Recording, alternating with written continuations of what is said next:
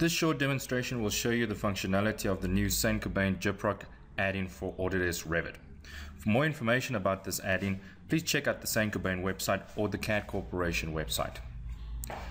Once you've created your, your layout of the placement of your walls in your view, um, you would need to then go and create a duplicated view. And this is just a method of identifying which walls has been quantified in the view. So I'm going to go and duplicate this particular view here and I'm just going to say duplicate. I don't need to duplicate with detailing and I'm going to rename that level to let's say Gyproc quantification.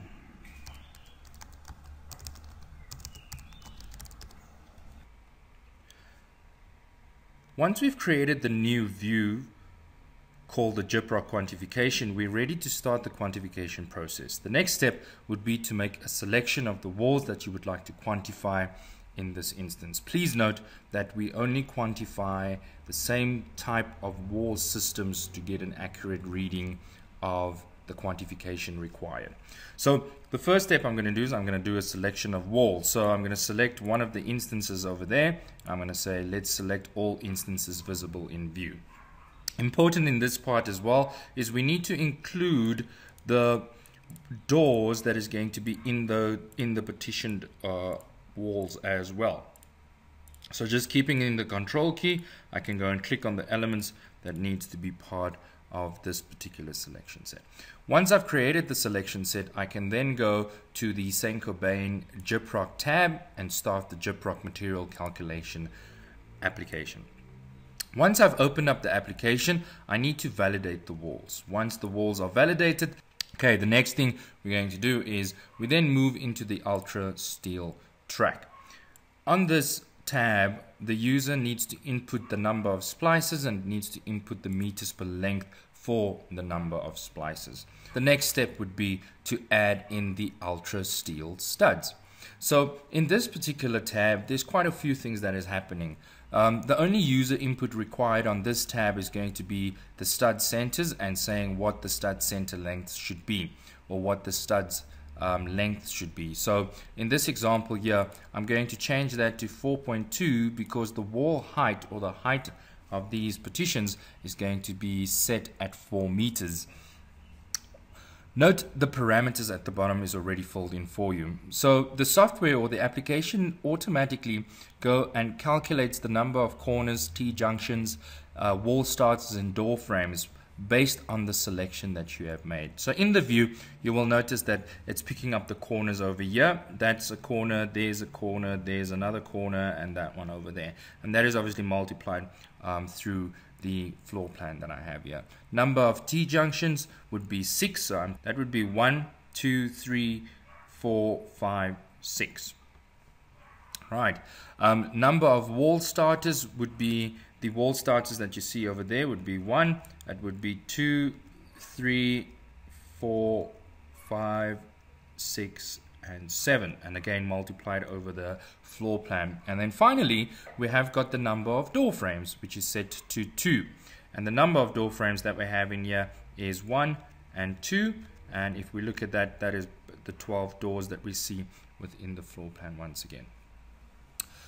The fourth step in this application is to specify the Gyproc plasterboard that is going to be used. Firstly, the user once again needs to input the board length required for this particular design. And again, I'm going to set the board length to 4.2 as we have got a um, the wall height at about 4 meters. The number of boards required either side is automatically picked up from the wall type name in um, the select walls tab. Furthermore, it also picks up the board type from that name as well, meaning that it's a classic board type and there from the drop down list by default classic is selected for the user. Finally, we also got fixings and plasters. The fixings and plasters tab allows you to, to select the type of rhinolite to be used, the type of skirting to be used, and also the number of dry streaker screws that is required for installation. Now you will notice that some of these checkboxes is ticked off by default and they are ticked off by default based on selections that once again are made within the software.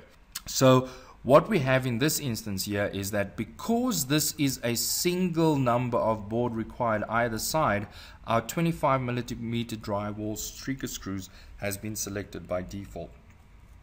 If we have a three-layered uh, board system or a three uh, or a two-layered board system, you will notice that the soft the application will automatically go and make a selection for um, either the 42 millimeter drywall streaker screws or the 60 millimeter drywall streaker screws. Finally, we've got 45 millimeter skirting screws selected by default and also the Rhino tape 45 millimeter rolls selected by default.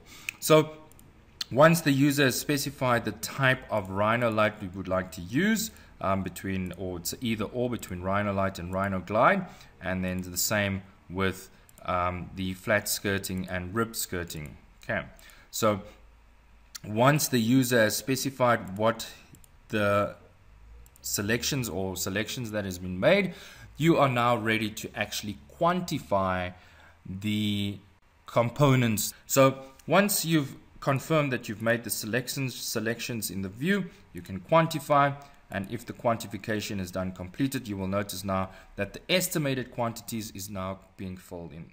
Now to ensure that you do not duplicate the quantification in a in a floor plan um, we've added in a tab where we can actually go and place the tags. And once we hit the place tags command, it will go and place down a tag on each segment of wall that has been quantified.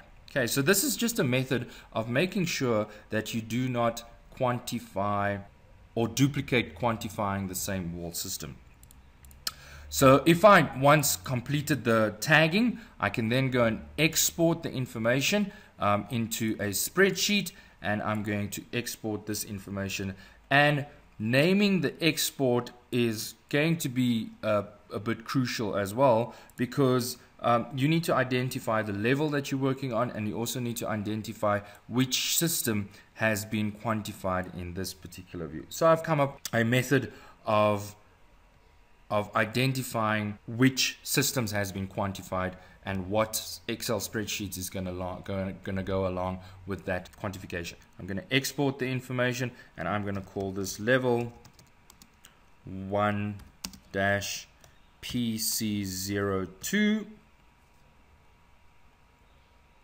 right and I'll just save it on my desktop. Okay so level 1 0 PC2 once the co components is quantified, you can actually close the application because now that information is going to be um, taken out of the or placed in the Excel spreadsheet.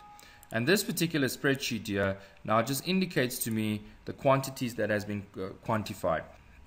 To carry on with the next system, I can now go and select the next type of wall. So here I, for example, have this particular wall and I can go and right click, select the visible walls of uh, walls in view and I can go and through the so same process, validating the walls and specifying um, the number of splices required once again. Um, so let's just say, for example, sake, it's 25 um, splices required and we need to specify the, the stud centers. Again, notice there that those values there, which is the number of corners and number of wall starters, is automatically uh, picked up from the selections that are made. Um, notice that the board type has changed now, and you'll also notice that the number of boards required is two boards on either side.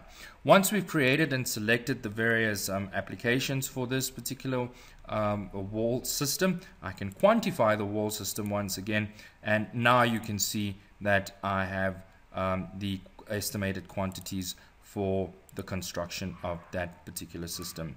Once I've done the wall quantification, best practice here is just to place the tags in the view um, and once the view, the tags has been placed within the view, you can then export that information once again. Um, so um, what I'm going to do is I'm just going to export that information and say that is level 1 and that is a PF01 for partition uh, fire stop um, type 1 um, place that in the view and again if I want to go and view that information I can click open PF101